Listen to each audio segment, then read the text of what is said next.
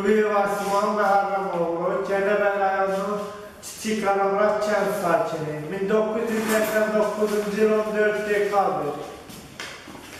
2008-ci ildən çobanlıq eləmişəm.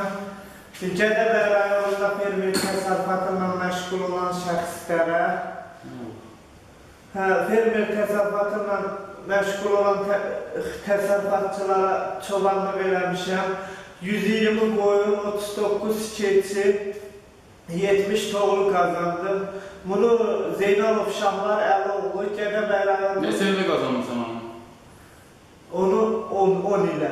Onun müddətində bunları çoban olmuşsun. Hə, onu O müddət ərzində bu heyvanları qazanmışsın. Bəli. Onu da Vəliyev e, Zeynalov Şahlar Əloğlu Gədəbəy rayonunun Slavyanka kənd sakininin vasitəsilə onun qaynatası olduğunu bildirdi. Vəliyev Telman Novruzoğlu'na məxsus olan boymuzlu heyvanlara qatdım. Və o bana bildirdi ki, Akstafa rayonunun Ceyran çölündə ünvan 9-cu zastavanın daxilində yerləşən yatağım var, 1000 hektar yerim var. Yalnız çoban verəcəksin, sənin də heyvanını saxlayacaq, mənim də. Buna razılaşdım və dedi ki, bana 2000 manat da yatağıma haqq verəcəksən. Onu da maddi vəziyyətinin zəif olduğuna görə, yəni dedim ki, 2017-nin may ayında quzu, quzudan satıb verəndə maddi vəziyyətim zəifdir. Buna da razılaşdı.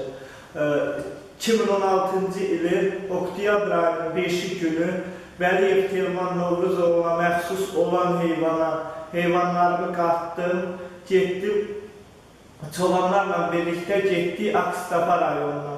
Çobanlarımın da adını xatırladım ki, Məmmədova Müsalə Sahil qızı, Gədəbəy rayonunun Nəhboğan kənd sakini və onun iki uşağı, Mühəbbət Rövşən və Məmmədova Etibar Muxtaroğlu, Gədəbəy rayonunun Kiçik Qaralar kənd sakini və öz qardaşım Quliyev Simon Məhərrəmoğlu, Gədəbəy rayonunun Kiçik Qaralar kənd sakini.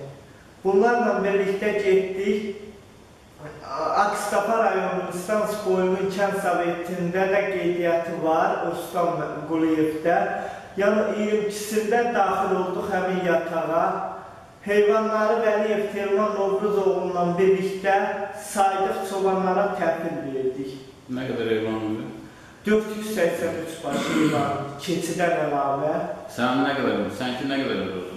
Mənimki 229 baş. Hə, verdim.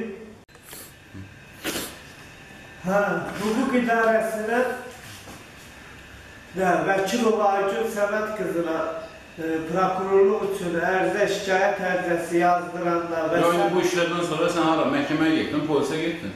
və polisdən sonra prokurorluğa. Polis dedi ki, prokurorluğa verir. Hə, hə, prokurorluğa verir. Getdin Aksafa rayon prokurorluğuna. Hə, Akstafa rayon prokurorluğuna getdim. Orada bana Vəkilova Aygül'e orta təhsil olduğuma görə Vəkilova Aygül Səməd qızına Akstafa rayonunun İstans boylu kənd sakinine şikayət ərizəsi yazdırdıqca, mövzularımda baxdıqca O orada nə gəzirdi? Nə edirdi orada vəkil vay?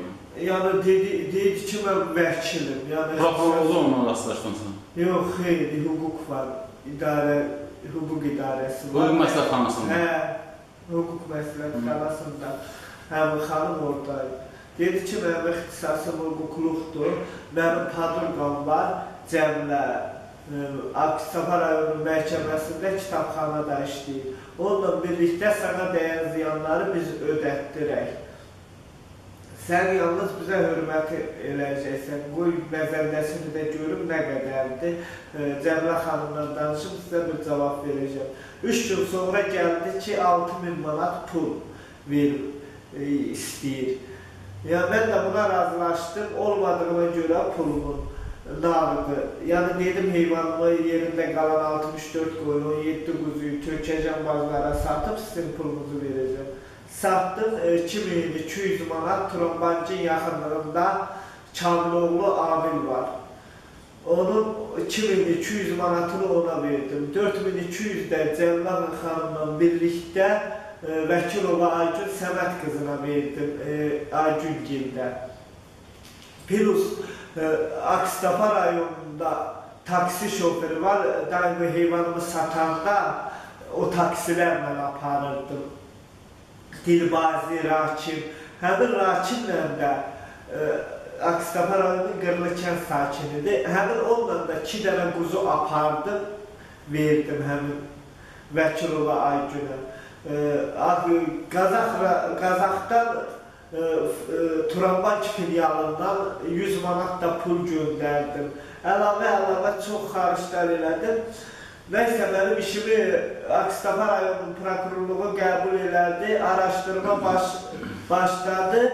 Cinayət yerində tutmadığına görə mülki elədilər ki, ver məhkəməyə, Akstafa rayonunun məhkəməsinə.